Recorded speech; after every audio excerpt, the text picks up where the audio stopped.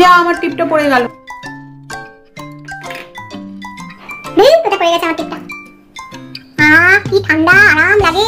যখন মাখবে তখন বুঝবে যে দিদি যা বলে না প্রত্যেকটা জিনিসে আরাম পাওয়া যায় মুখে। স্কিনটা আমার মনে হয় যেন স্কিনটা ভুকা ছিল এতদিন। ক্ষুধার্ত ছিল। আমি আবার একটা দুটো হিন্দি ওয়ার্ড বলে দিলে লোকে বলে। হিন্দি কেন বলছেন? সব দিক খেয়াল রাখতে হয়। হ্যাঁ আমার টিপটা না এর মধ্যে পড়ে গেছে। যাই ভীষণ আরাম লাগে। আর এত সুন্দর গন্ধ বেরোয় না বলে বোঝাতে পারব না। এই যে আমার টিপটা। আমার টিপ এর মধ্যে পড়ে গেছে। ওরও পরিষ্কার হতে হবে। ও নিজের মুখকে পরিষ্কার করছে। বুঝেছি। Hi everyone welcome back to my channel গোপাস fashion hub আশা করি তোমরা সবাই খুব ভালো আছো। গরমকাল তো এসে গেল। তো গরমকাল মানেই তৈলাক্ত ত্বক অয়েলি স্কিন আর হাজার সমস্যা। তো আজকে আমি যে ভিডিওটা নিয়ে এসেছি, সেটা দেখার পরে আগামী গ্রীষ্মগুলোতে বা গরমকালগুলোতে যাতে তৈলাক্ত ত্বক বা অয়েলি স্কিনের সমস্ত ধরনের প্রবলেম চুটকিতে মিটে যায়, এরকম একটা ভিডিও নিয়ে আমি তোমাদের সামনে হাজির হয়েছি। আজকের ভিডিওতে আমি দেখাবো কীভাবে তোমরা তৈলাক্ত ত্বকের বা অয়েলি স্কিনের যত্ন নেবে, কীভাবে ব্রণ দূর করবে। ভীষণ প্রবলেম হয় গরমকালে ব্রণর যাদের অয়েলি স্কিন তারা একদম হয়রান হয়ে যায় যে ব্রণ এত বেশি আসে পিম্পল বা অ্যাকনে এত বেশি হয়, সেই প্রবলেম কি করে দূর করবে? আর তার সাথে দেখাবো ব্ল্যাক হেডস কি করে দূর করবে? প্রত্যেকটার আলাদা আলাদা নিয়ম আছে। আর তার সাথে দেখাবো সপ্তাহে দু থেকে তিনবার কি লাগালে আর কীভাবে মেনটেন করলে তোমাদের অয়েলি স্কিনের সমস্ত প্রবলেম দূর হয়ে যাবে। তো আর দেরি না করে চলো শুরু করে দিই আজকের ভিডিও চলে এসো। এই গরমে তৈলাক্ত ত্বক বা অয়েলি স্কিন ভীষণ সমস্যায় পড়ে। কেন পড়ে? না, তাদের মুখের মধ্যে সবসময় একটা তেল চিপচিপে ভাব ভাব থাকে আর তার সাথে ঘাম হয়। তার ফলে কি হয়, যখনই বাইরে যায়, ধুলো, ময়লা আটকে যায়, যার জন্য আরও বেশি তৈলাক্ত ত্বকে প্রবলেম বেশি হয় রাদার দ্যান ড্রাই স্কিন তো তৈলাক্ত ত্বকে কি হয়, ঘাম হয়ে সমস্ত ময়লা আটকে যায়, যার ফলে পিম্পল ব্ল্যাকহেডস অ্যাকনে নানা ধরনের সমস্যা দেখা যায়। তো এগুলো যাতে না হয়, সেজন্য কিছু নিয়ম আমি আজকে বলে দিচ্ছি। সেগুলো যদি করো আর রেগুলার মেনটেন করো, অবশ্যই তোমরা এই গ্রীষ্মে আরামসে তোমাদের স্কিনের যত্ন নিতে পারবে, কোনো প্রবলেম হবে না। প্রথম যেটা বলছি রেগুলার মুখ পরিষ্কার করো। পারলে দুবার, তিনবার ঠান্ডা জল ছেটাও। পারলে বরফ জল মুখের মধ্যে লাগাও, বরফের কুচি লাগাও। মুখ ধোয়ার জলের মধ্যে, একটা মগের মধ্যে মুখ ধোয়ার জল নেবে, সেটার মধ্যে একটু কয়েক ফোঁটা গোলাপ জল মিশিয়ে নাও। তাহলে খুব তরতাজা একটা ভাব হয়। ফ্রেশনেস একটা এসে যায় মুখের মধ্যে। স্কিন বাজারে যেসব ফেস ওয়াশ পাওয়া যায়, সেগুলো যদি তোমাদের ত্বকের সাথে সুটেবল হয়, তোমরা অবশ্যই ব্যবহার করতে পারো। না হলে ফেস ওয়াশ আমি বানিয়েছি। সেটা তোমরা ব্যবহার করে দেখতে পারো, ভীষণ উপকারী, ভীষণ কার্যকরী। ঈষদ উষ্ণ জলে চান করলে আর তার মধ্যে যদি একটু নিম পাতা ছিঁড়ে ফেলে দাও, যদি নিম পাতা পাও, বাড়ির আশেপাশে তো নিম গাছ কত থাকে, নিম পাতা ছিঁড়ে ফেলে দাও, তা দিয়ে যদি চান করো বা যদি নিম পাতা না পাও, নিমযুক্ত সাবান সাবান দিয়ে যদি স্নান করো, তাহলে নানান রকম জীবাণুর সংক্রমণ থেকে তোমরা রক্ষা পেতে পারো। ইভেন মুখেরও নানান রকমের যে সংক্রমণ হয়, সেখান থেকে তোমরা রক্ষা পেতে পারো। যদি পাউডার দাও, বিশে, বেশি করে যদি পাউডার মুখে দাও, আমার মনে হয় না পাউডার খুব একটা কাজ করে মুখের মধ্যে। আমি কখনো লাগাই না পাউডার তো পাউডার যদি মুখের মধ্যে দাও, তাহলে সেটা অবশ্যই রাত্রিবেলা পুরো ওয়াশ করে, ভালো করে ক্লিনজিং মিল্ক বা তোমাদের যাদের অয়েলি স্কিন তারা ক্লিনজিং মিল্ক দেবে না, তারা টোনার ব্যবহার করবে। সেই টোনার দিয়ে মুখ পুছে তারপরে শোবে। এইবারে আসছি তোমরা যে কসমেটিক্স ব্যবহার করো, সেগুলো উল্টোপাল্টা কসমেটিক্স ব্যবহারের জন্য কিন্তু স্কিন খারাপ হয়ে যায় স্কিনে পিম্পল আসে স্কিনে ব্ল্যাকহেডস এর মাত্রা বেশি হয়ে যায় স্কিন আরও বেশি অয়েলি হয়ে যায়। তো কি ধরনের কসমেটিক্স তোমাদের ব্যবহার করা উচিত? শুনে নাও।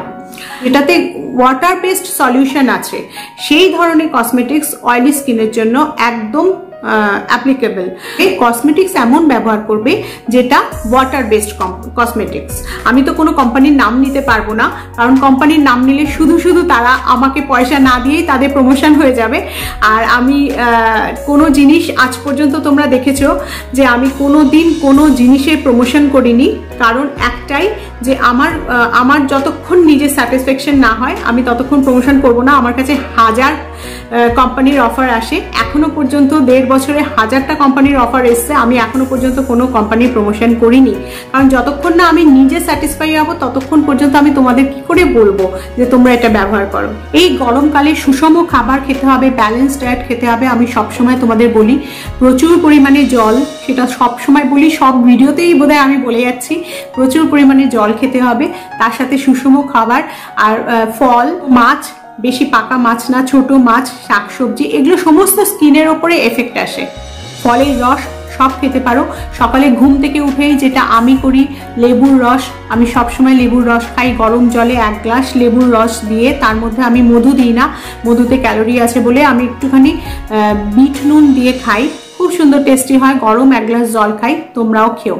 এই সময় ব্রণর ভীষণ প্রকোপ দেখা যায়, ব্রণ বা একনে এমন দু ধরনের ব্রণ হয়। একটা দাগ, ব্রণ হলো, তারপরে সেই দাগটা আস্তে আস্তে মিলিয়ে যায়।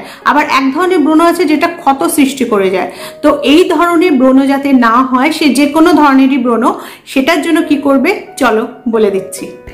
ব্রণর প্যাকটা বানাবার জন্য বেসন বা মুসুর ডাল বাটা এক চামচ, টক দই প্যাকটা বানাবার মতন পরিমাণ মতন, কাঠবাদাম চার পাঁচটা বেটে নেবে, কমলার খোসা বাটা এক চা চামচ আর নিম পাতা বাটা এক চা চামচ সব কিছু একসাথে মিশিয়ে ভালো করে প্যাকটা বানিয়ে নেবে।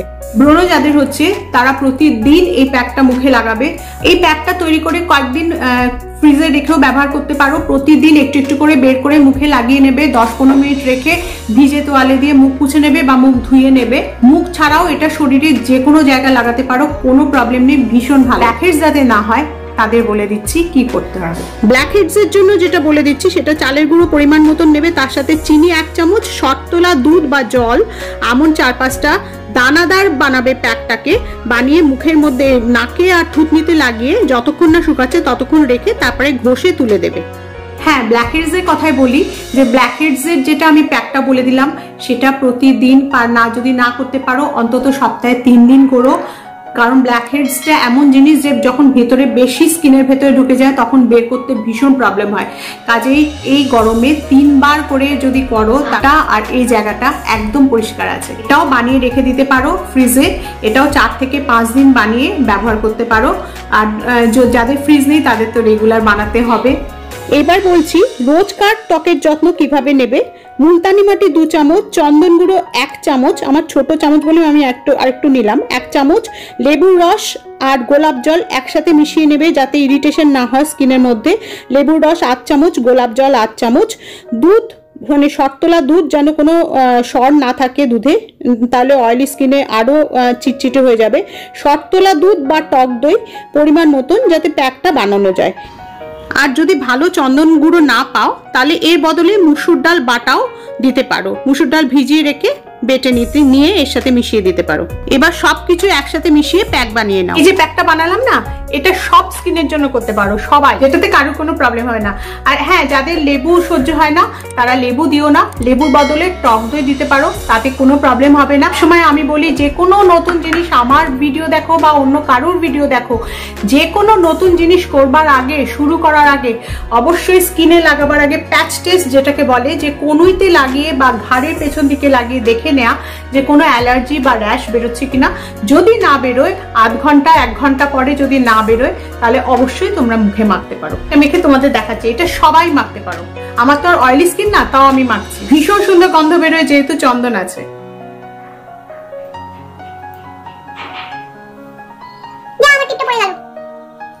কোথায় পড়ে গেছে আমার টিপটা।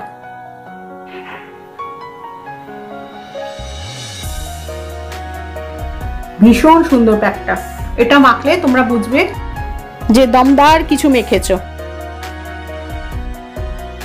তো এটা এখন মেখে আমি পনেরো থেকে কুড়ি মিনিট বসে থাকব, তারপরে শুকিয়ে গেলে এটা আমি ধুয়ে নেব। এই যে আমার টিপটা। এই যে।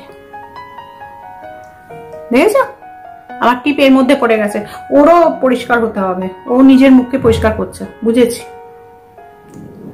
তো দেখে নিলে যেভাবে বলেছি, সেইভাবে যত্ন নেবে আর প্রচুর পরিমাণে জল খাবে। তো আজকে এই ইম্পর্টেন্ট ভিডিওটা ভালো লাগলে অবশ্যই লাইক দিও।